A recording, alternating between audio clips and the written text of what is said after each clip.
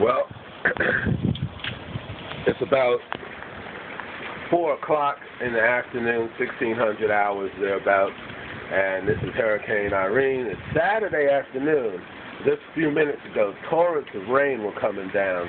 It's uh, slowed down a little bit now. The wind has picked up a little bit, but generally it's not too bad. It's not much bad, not much worse than uh, some other storms I've seen. But they say, of course, the worst is yet to come. We'll keep you posted. I'm going to try to get this video up. Uh, it's coming in torrents, and then it stops, and now I feel another torrent coming. So let me get out of the rain.